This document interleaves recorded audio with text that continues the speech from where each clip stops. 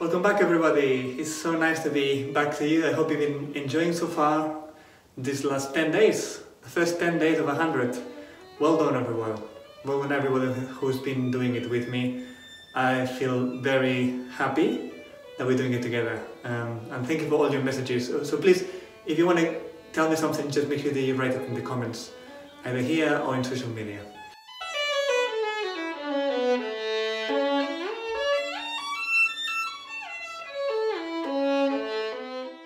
I'm sure your teacher has told you many times how to do it, but things change sometimes. We get different repertoire, or we just get confused, we forget how to do it.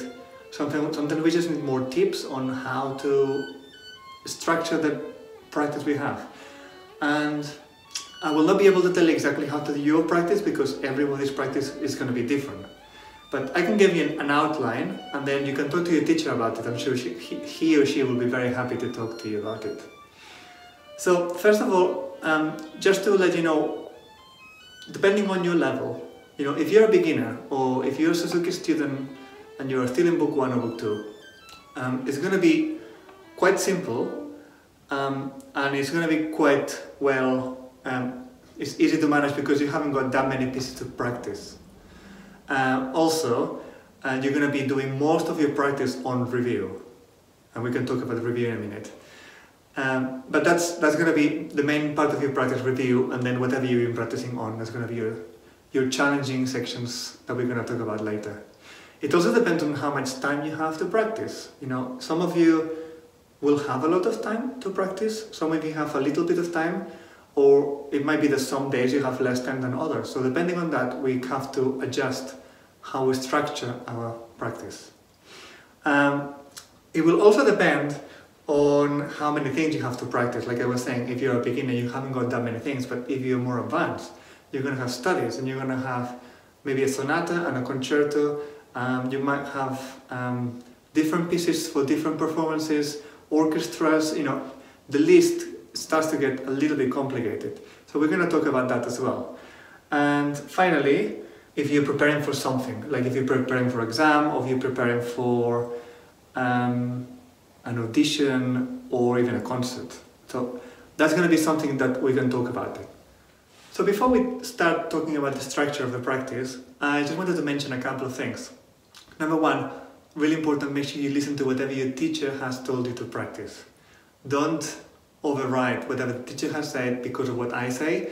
Try to marry both things, and if it doesn't make sense together, talk to them, talk to your teachers, and let's see how you can find a way that makes sense and is happy for everybody.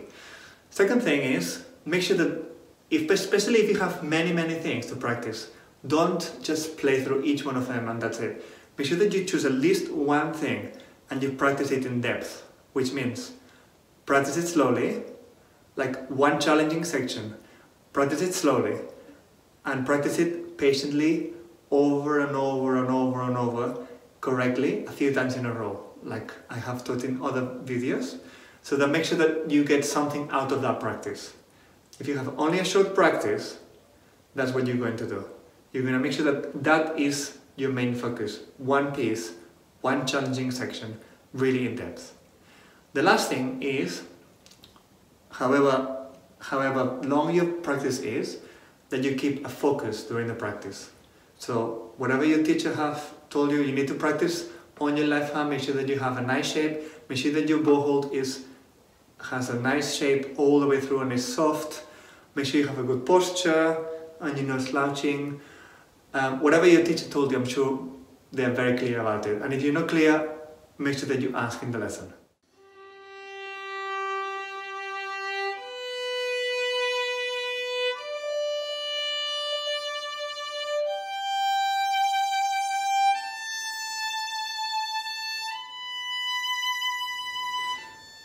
Now, going into the actual structure of the practice.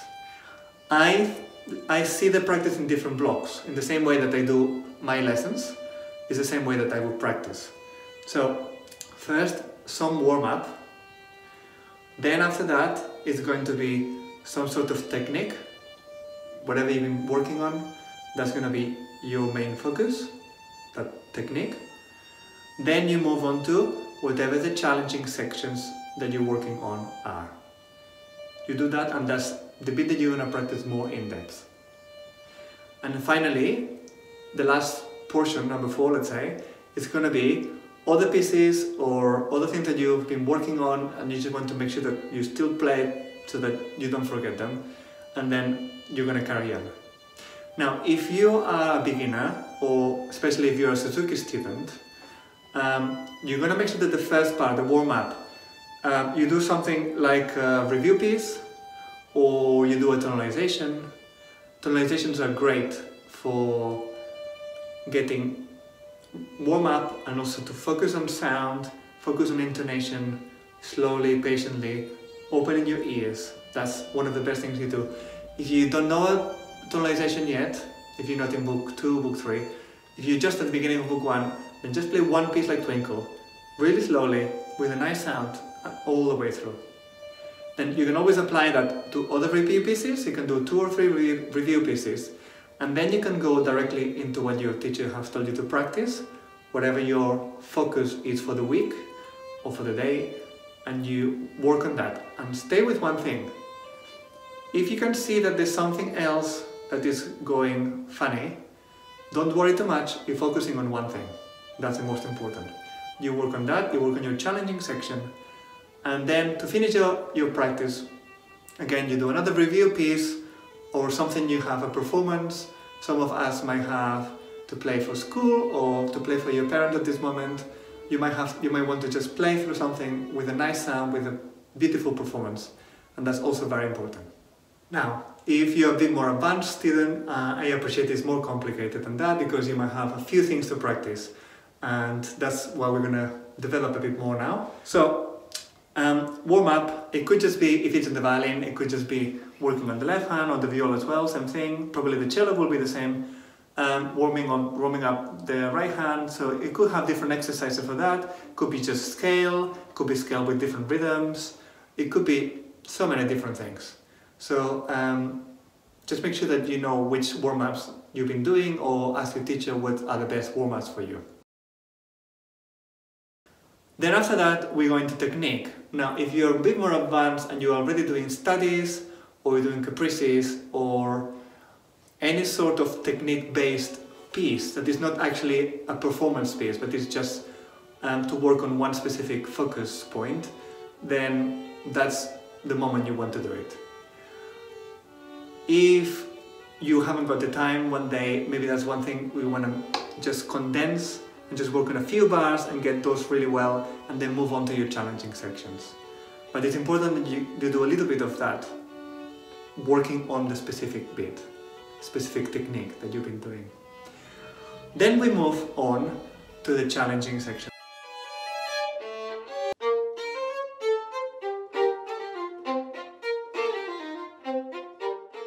That's probably the easiest one for you because everybody knows what their challenging sections are and being show, I suggest you just play through a piece and whenever you stop, you find something difficult, that's the bit that you need to practice, or one of the sections. So instead of, you might have a piece, if it's a long piece, you might have a few sections that are challenging, or a few boxes you're working on. So those boxes, those challenging sections, those are the ones that you want to do right now, before you play anything else. So make sure that you practice those boxes first. Practice them and once you get them right, you need to repeat them a few times in a row. I would say at least 10 times in a row normally makes the trick. Then we move on to the actual piece, put it in context, or you can move on into a performance piece, so something you're working on, like for a concert, like we said, um, or for an audition, or you may have other pieces in the audition, and which you already know, but you want to make sure that you keep playing them. So that's really important to do at the end practice your performance, practice playing out, playing, performing. That's really also really important, especially during these times that we might be online and we're just in front of a screen. Make sure that you perform. If you're a Suzuki student and you want to play for your parents, or maybe you want to put some teddies down and you can perform for them, something that is visual for you to play out. Make sure you have enough space to try and, and play out for those around you. Now, one last thing for those people who have a few too many things to practice or they have a performance coming up, this is something I wanted to talk to you. Um, it could be at any level, beginners may also have concepts, so there's something that you want to think about. So, um, think about different pieces you might have. So, you might have one piece and then another piece, and then you have a, a longer piece, maybe a little different, different color. A longer piece and then you might have some review pieces to do or do it like this. So we have we got four pieces let's say. But it could be that you have I don't know a few more to go. So how do you manage all those pieces during your practice? And that's really important to understand. So that's why I'm saying we always choose something that is the challenging section from the one piece so let's say this long piece for example has some tricky bits so we're gonna make sure that this piece we're gonna practice every time and we're gonna practice the challenging bits first. Once you've done that, you can play this one in context. Now, uh, we have a performance coming up, so we have this performance piece, so we wanna make sure that we play this one as well. If we have more time, we can also do these other two pieces. We can do them before or after, but make sure that it's not before the challenging section. Now, if you don't have that much time and you got all these pieces to play, what I suggest, especially if it's for performance or for an audition, that you keep rotating the performance pieces. So one day you might do yellow and green, the other day you might do yellow and blue, the other day you might do yellow and red, um, another day um, you don't have a lot of time, you just do yellow because the challenging section. Uh, let's say this challenging section is over and now it's fine. So now we can rotate this one as well. Uh, we might just like to play, perform those three pieces that we have for the exam, one after the other, and then we make we can record ourselves and see which bits need working on, and then this will become the next challenging section for the next time when you have more time to practice. Now, just before a performance, let's say that we have all those pieces really, really well. Let's say we have four of them, because sometimes we have four pieces to play or it could be just that we have different performances or something. So instead of playing one and working on it and working on it and then playing the other one and working on it, working on it, instead of doing one after the other in big blocks like this, instead of that, we want to make sure that we can play them properly from the beginning. That is for a performance. In a performance, we don't have time to work on them and then play them. We might just have to play in one concert or in one audition all the pieces in one go. So what we want to do is put them at random. Take them all out, put them in a box, and let's say, okay, let's see which piece is gonna come out. This one, you play it. You play through it, whatever happens, you write down the bits that are not good, or maybe you have a parent there, you can, you can write it down, or you can record yourself. Then it's like, okay, next piece. Right, let's play this piece from scratch. Doesn't matter how well or how bad it is, you just play through, you do your best. Working on it will be a different day or a different time. If we're talking about performing we're talking about playing from scratch like in a concert. I hope you enjoyed this video and I hope it's helpful. Let me know please in the comments if you need any help with anything with this or something else. If there's any topic in practice that you would like me to cover in the future, um, it's very helpful for me to know what you need so I can provide some advice if I have it or maybe I'll ask for some help from other teachers and they can also help um, you and everyone else. Stay in tune, keep practicing and I'll see you very soon.